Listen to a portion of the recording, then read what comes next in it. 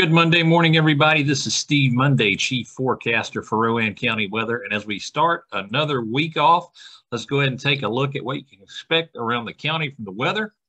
And we'll start off by taking a look at the radar.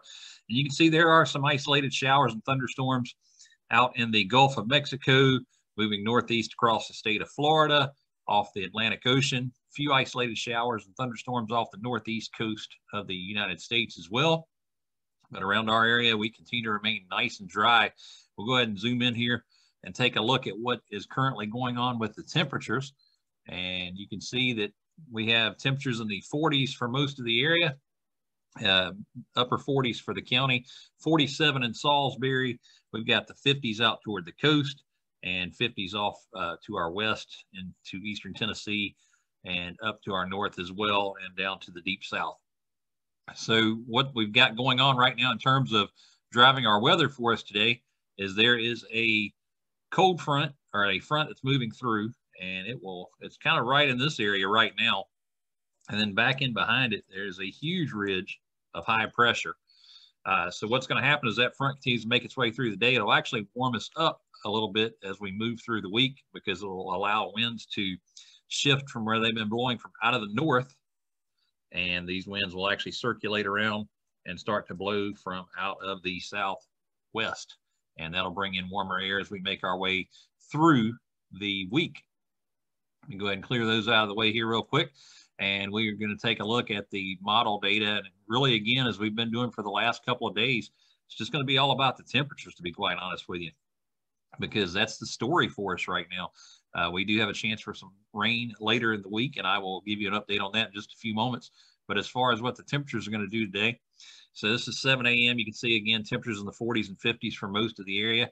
As we make our way through the day, we are now at uh, 12 noon, and you can see that uh, it is currently, we're looking at temperatures in the 60s at that point, some 50s up in the mountains. As we continue to make our way through the day, we're now at um, 5 p.m and you can see still 60s for uh, most of the area. There are some 70s down towards Charlotte and the southern portion of the state into South Carolina, 50 still up in the mountains. And as we make our way to around 10 p.m. this evening, you can see 50s for most of the area, uh, 40s for the mountains, a few 60s out along the coast. So the temperatures again today, we'll see a chance of making it potentially into the 70s. I actually have us forecasted to make us or to make it into the low 70s. And we'll talk about that as we continue to discuss the forecast here. First of all, weather impacts for today. We'll see sunny skies during the daytime hours. Winds will be out of the north to keep a cool feel to the air today. But again, those winds are going to shift as we go through the week and start to come out of the southwest, bringing in uh, warmer air and getting getting us above normal in terms of the temperatures.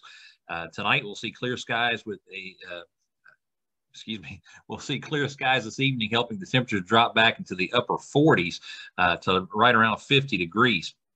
So as I mentioned, we could see rain by the end of the week, and it would come from what is currently Tropical Depression number 26, which could become our next named storm, Delta, over the next 24 to 36 hours. The current forecast track has the storm moving northwest across the Caribbean into the Gulf of Mexico over the next few days.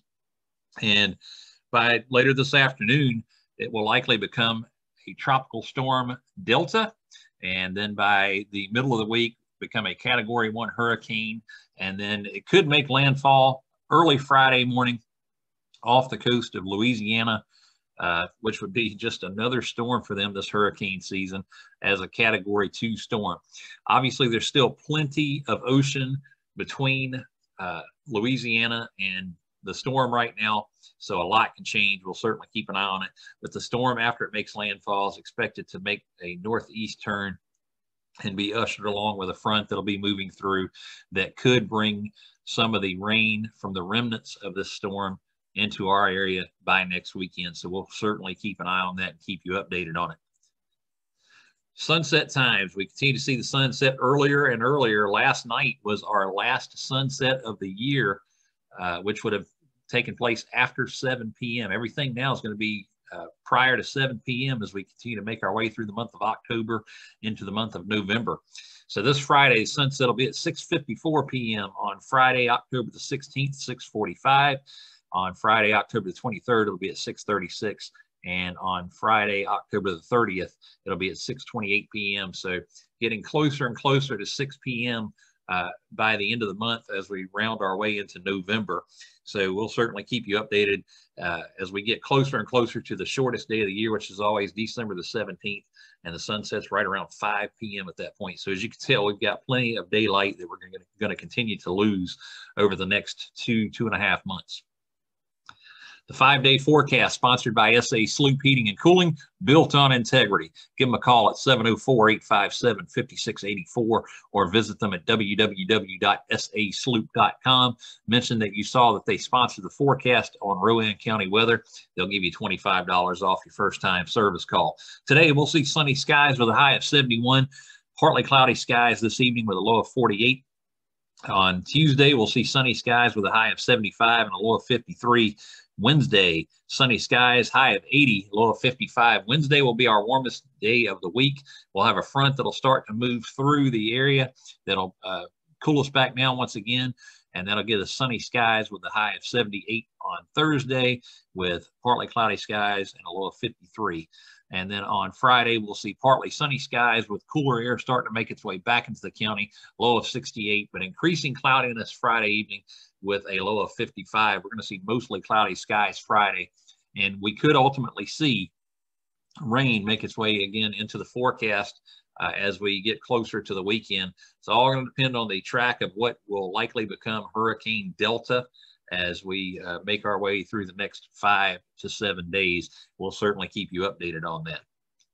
If you're looking for ways to stay updated with Rowan County weather throughout the day, you can visit us on our website at www.rowancountyweather.com. Follow us on Facebook, Instagram, and Twitter.